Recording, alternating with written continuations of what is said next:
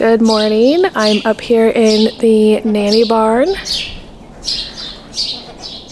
with all of the goats who delivered babies yesterday. They're up here for monitoring and then just making sure everyone's thriving. So far, everyone's looking good.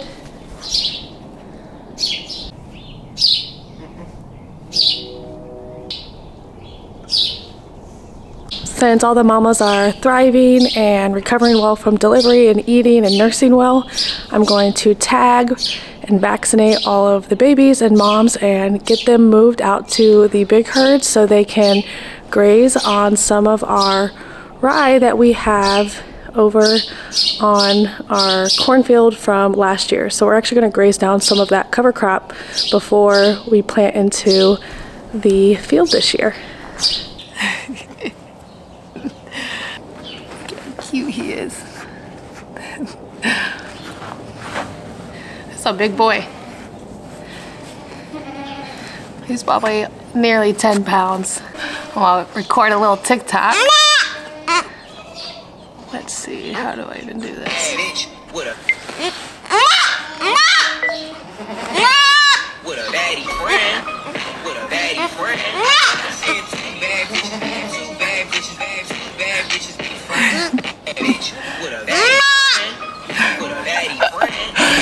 Actually worked pretty well.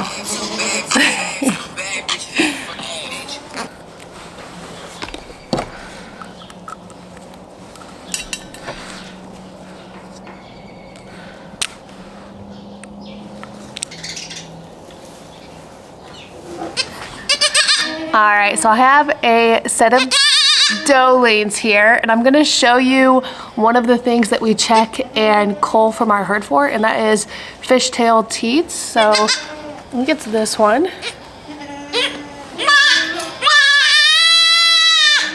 Well, you can barely tell on her. But she has two teats, but she technically actually has four because the two teats split. And so a lot of times the split will leave one of the teats non-functioning. And so later when she has babies, they might have trouble nursing. So we are going to pull this little girl. Keep this one. Look at this one's ears.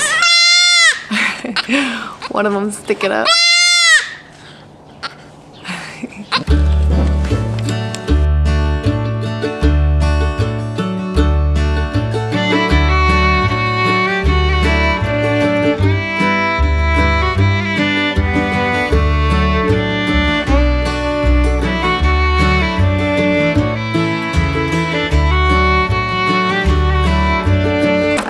Me why we have goats and not cattle.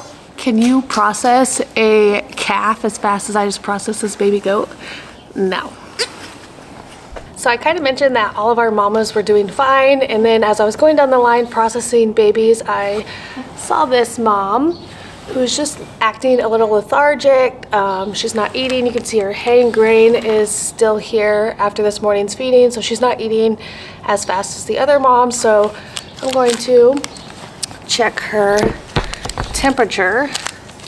A cause of concern for being lethargic is possibly like a retained placenta, an infection, um, or just, you know, poor recovery after labor. So I got a thermometer here. Um, going to check her temperature.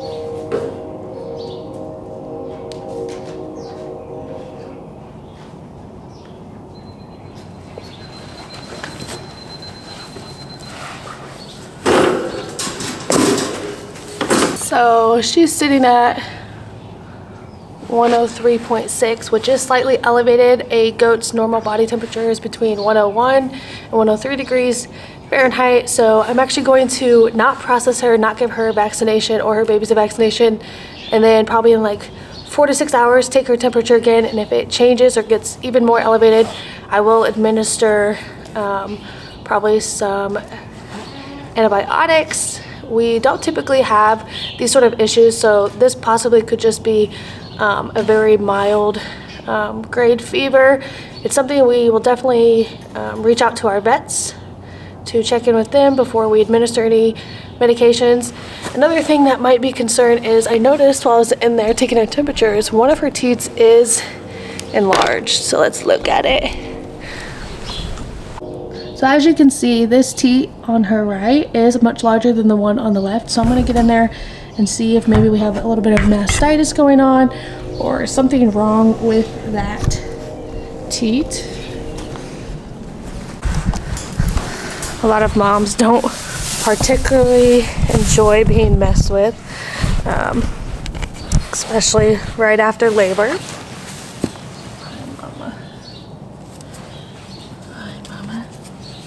So as you can see, that teat is not putting out any milk. So let's see if it's clogged.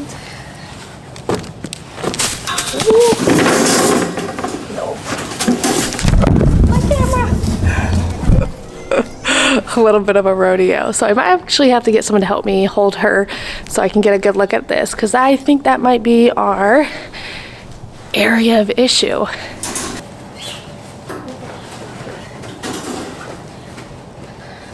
So flipping a goat is a lot easier when they're a little smaller. She's a big one.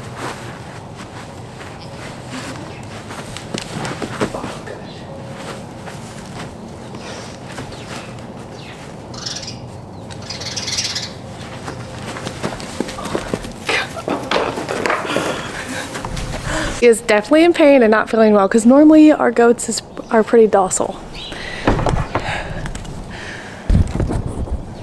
All right, we got her flipped over here. Let's see what's going on with this teat. So it does produce milk. That was a bit of a rodeo, but got her checked out. The other teat is functioning, and then I put tape over this side to encourage the kids to nurse off of that other side.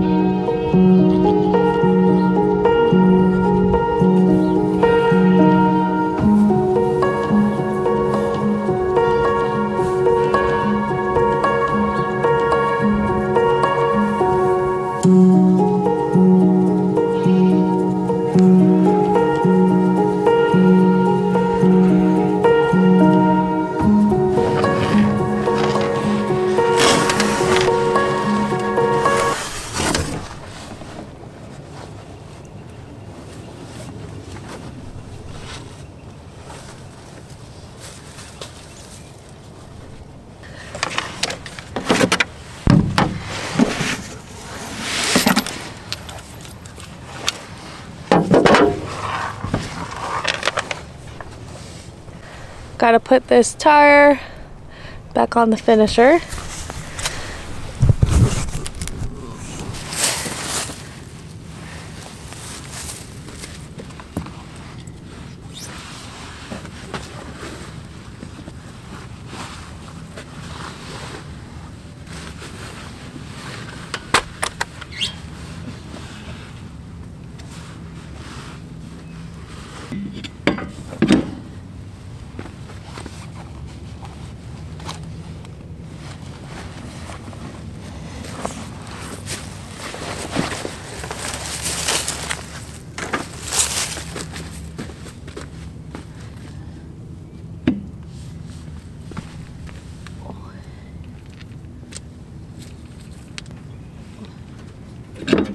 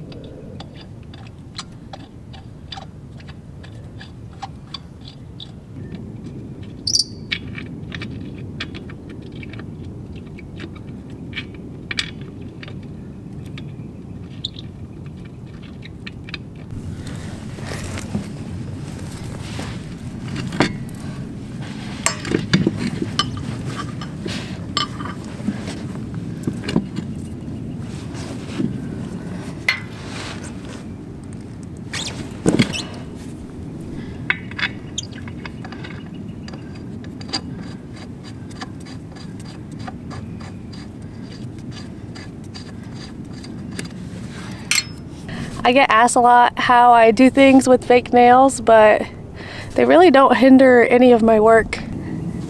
Now that I have all of these hand started, I'm gonna tighten them with my impact, um, going every other.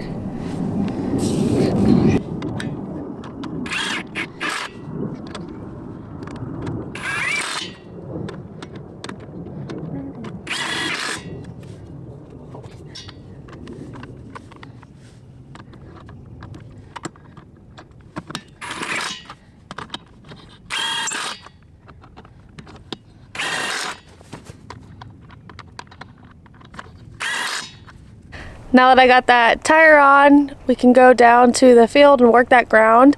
Last week I blew a tire and then we got rain and this is actually the first time I'm getting down to this part of the field in over a week. As you can see, things have really greened up since the last time I'm down here.